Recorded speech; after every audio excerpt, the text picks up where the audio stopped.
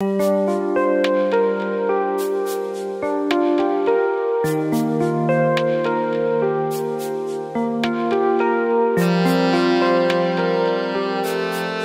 this is Sebastian for the Metal Gods Meltdown, and today I am joined by. Hey, it's Issa. Hi. How are you? Uh, I'm really great. It's great to be chatting. I love your Armed and Dangerous album. I've been listening to it non-stop the last couple of days. It's an amazing album with a statement of intent. So, how pleased are you with this work of art? Oh, I'm I'm I'm super pleased. Uh, it's it's been a different journey this time. Um, I think obviously working um, from home, you know, um, with, with Tom and James. You, obviously, I'm married to James, so having that sort of like in-house uh, opportunity has been really, really good.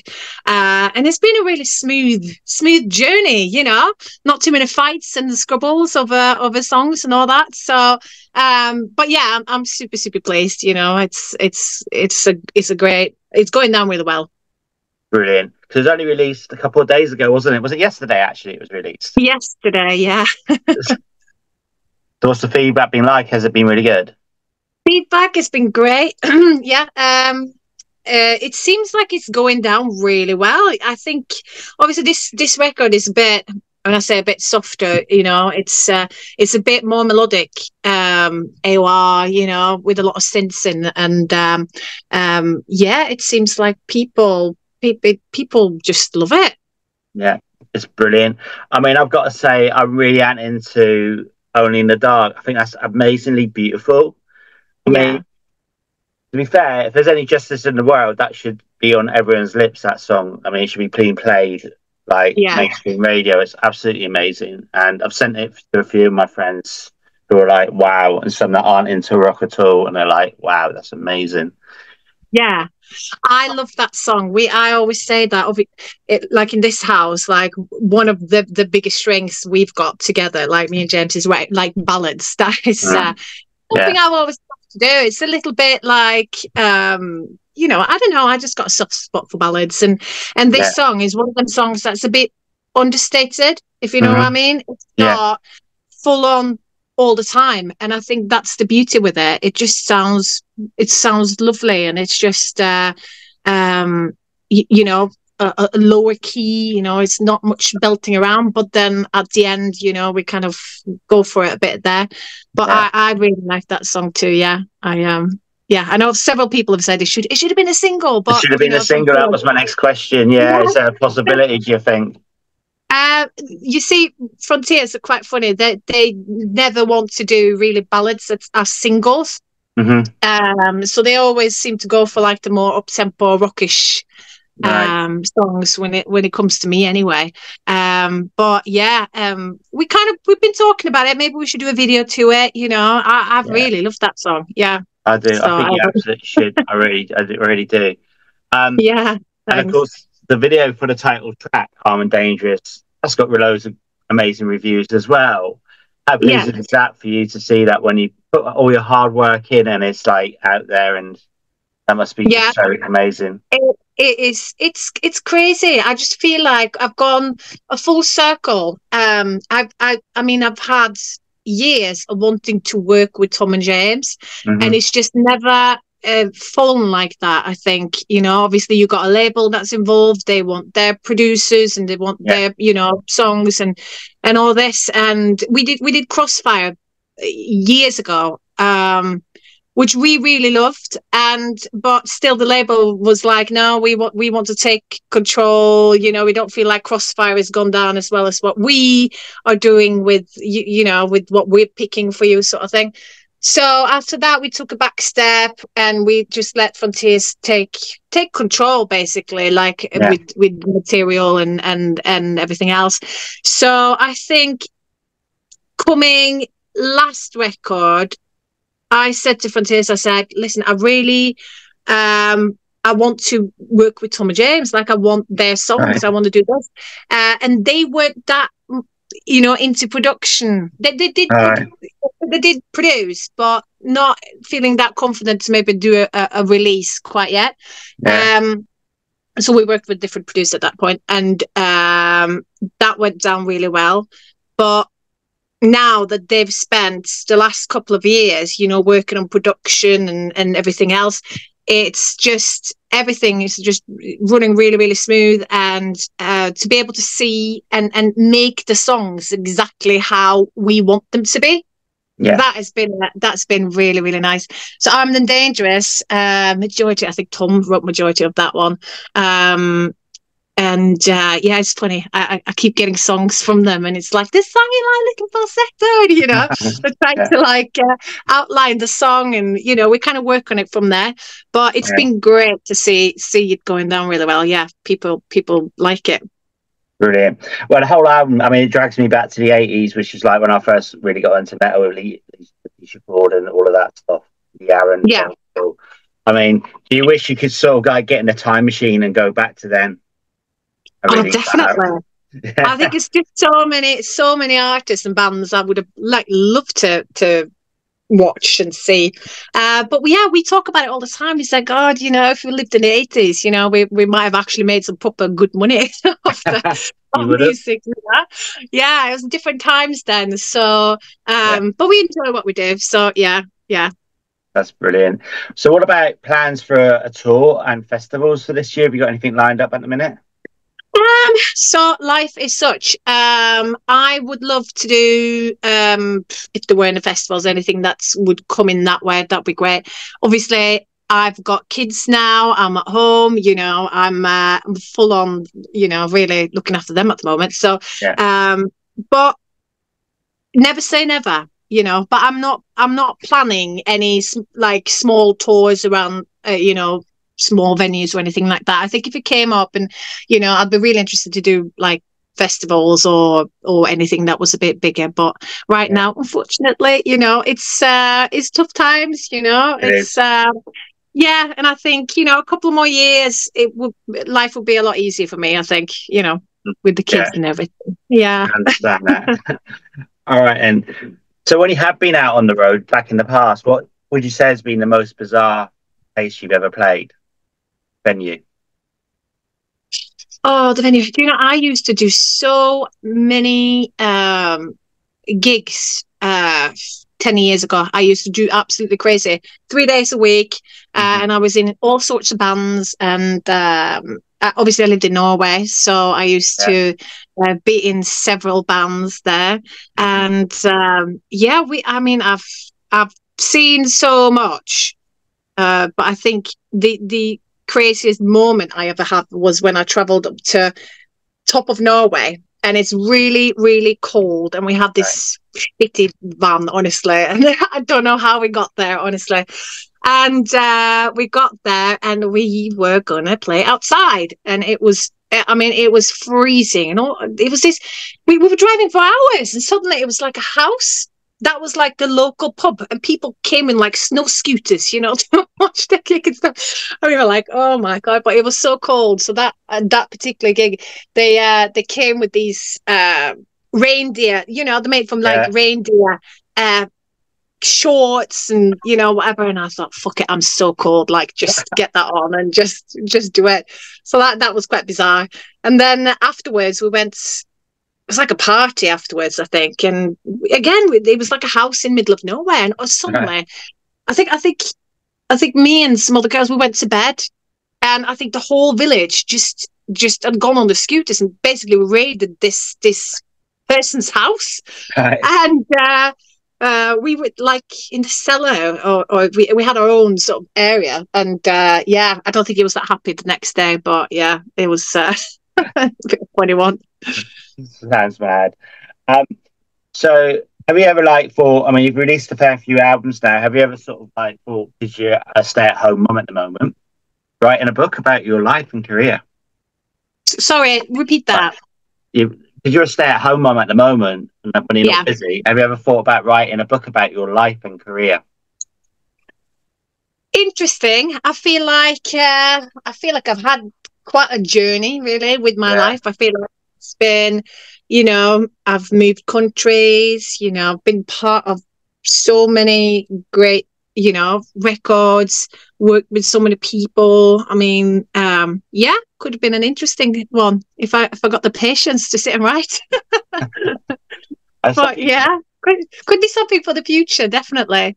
Yeah, that would be so cool. Because I mean, you started off in the pop business, really, didn't you? You started off as a Yeah. sort of pop singer, so you know. Yeah, it was. It's. It, I actually said the other day. I said it's. It's crazy from from the day I was traveling from Norway to Sweden to record um, "Sign of Angels," and I had zero really idea. You know that I'm so many years after, and I'm kind of sat here and still, you know, get the chance to do music. And I think. Uh, even Serafino at Frontiers said, God, you know, you've done at that point seven records. You know, that's there's not many people that get to do that No, and um, you know it's been uh it's it's been yeah super exciting you know i'm i'm really blessed and i just feel you know it's it's great and not only that but now i'm i'm part of a lot of home as well. There's a lot of music going on here projects you know. Mhm. um and i'm always helping out you know. I'll i'll record the songs whatever is written. I'll do bvs on different projects you know I'll be part of this and that. And um yeah so it's been it's been a interesting time i guess. But yeah looking back to that time anyway driving to sweden and recording you know sign of angels to now that is that is bizarre. That's bizarre to think of. Yeah Cool. And I mean, you've you've done a lot, so much. You've worked with so many artists over the years. But is there like someone that you wish, or that's no longer with us, even that you work with, like do a duo duo with, or record something? I don't know. oh yeah queen come on Freddie Mercury, obviously. yeah, that'd be great. Um, yeah, there's so many. Like, you know, I'd even love to do it like a, a duet with um, Ann Wilson or anything like that. That'd be great as well. I, I, I, there's so many different people and and bands. I, I just love. I think if you put them on in front of me, I'd be like, yes, that one, this one, yeah, a bit of this. Um, so, but yeah, I think the the big one will probably be like Queen for me, definitely. Yeah. Brilliant. All right, and so if there was a hard rock song about yourself, what would it be called? Like a made up song? it would be called uh oh i don't know a hard rock song made up for me. Um oh i don't know maybe uh oh you put me on the spot there. Um a hard rock song made of me. Um it, it would have to be um yeah i don't know i don't know you put me on the spot. I'll think about it. I'll come back to you in five minutes with it. All right, no worries. So going back to the album then, Armed and Dangerous. Um, Yeah. What's your favourite song on the album today and why? I know they'll all be your babies, but you got to choose one. I know, I know. I really love Only in the Dark. I've actually got it here. Uh, I do love Got a Hold on Me. I really like that one as well. Mhm. Uh, Only in the Dark. Yeah, I mean, they're all great, aren't they? Armed the Dangerous are great. All these Wild Nights, Only in the Dark. Never Sleep Alone, Road to Victory, Another World, Kick a Fire, Got Hold Me. I've got a soft spot for Only in the Dark, obviously, but I Mhm. Got Hold on Me is really good as well. Um, a Second Life, again, uh, I like that one. We actually had one of my friends over. We actually, because he's a singer, and just Right. before this, obviously we recorded it for my album, but Yeah. um, he's um, he's uh, he's quite known in all bits and pieces, and uh, he really liked the song, and we made another version of that song for him. Okay. So he recorded it and put it forward to Eurovision um, for him. Yeah. So Really? obviously we changed it a bit. Yeah. And uh, I think he was like something like two days off the, the deadline or whatever. But um, yeah. So that was a bit of a shame. But yeah. He, Next year, man. Said, Absolutely. you know, next year. But obviously now I've released it. So Ah. too late. But um, yeah. Can they do yeah. cover, ver- cover versions? They can't. I don't, I don't really know much about your version. No, it has to be original, yeah. But you know, there's always more where it comes from, isn't it? if you were to go into battle, which album would you have playing? It'd be one of the Queen albums, definitely. You know, they just got so great songs. It's just I can't can't get away from that. So yeah, I think I'm a I'm a big fan. I like the fact that they're quite theatrical, you know, and Yeah. in in the way of of doing music. So yeah, go for one one of them. So have you ever thought about doing a Queen cover? Like on a Yeah. YouTube? But have, Yeah. you, have you done that before? No, Have you done I that? haven't done it. I, no, I haven't done it. I, I have thought about it, but You should. sometimes, yeah, sometimes when you do covers, you know, it's hard to kind of um, stand out a little bit. You know, there's so Yeah. many doing the same songs and doing this and that. So, um, I've done a few covers, but if, when I do them, it's more trying to find songs that's a bit more obscure Yeah. and something that you know isn't 500 other people because I sometimes I feel like there is a lot of work into what you do you know Mm. you have to record it then you have to make a video you're doing this you're doing that and you spend a lot of time on it so Aye. obviously it's got to be it's got to be worth it course. so um but I, I do like I mean I've done I've done a few covers here and there and yeah I I enjoy it when I've got time when I don't Yeah. like because uh yeah the life is a bit hectic at the moment but um yeah so but it's definitely out there I've, I've, I've been looking at different songs you know I might be up for doing obviously I've got this release now so I've got Yeah. bits and pieces to do with that um I might do some sort of live versions of some of the songs you know we'll see and then after that when it quiets down I might do some more covers That'd be cool. Yeah, I'm not, not really into cover versions at all, but I just knows like you were saying about so many people have done so many covers of Queen. But I was thinking we will rock you, but like everyone's done that, haven't they? But I I know see, like, I can like see you doing it though. I can see Yeah, you yeah. doing that. I can see that working. All right.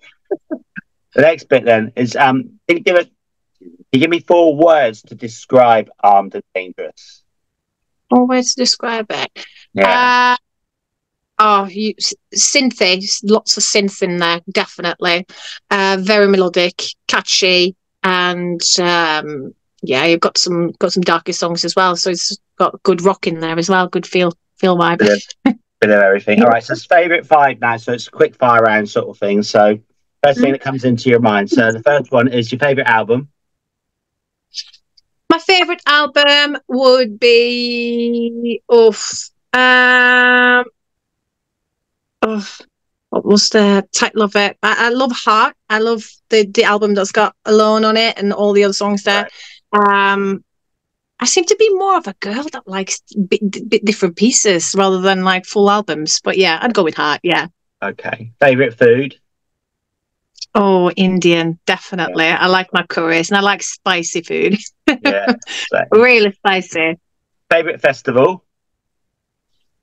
Favorite festival? Yeah. Uh, I don't know. I used to really like um, um, what's it called again? Um, not fireworks, but um, the other one that was in uh, was in, in Nottingham. No, it was in uh, where was it?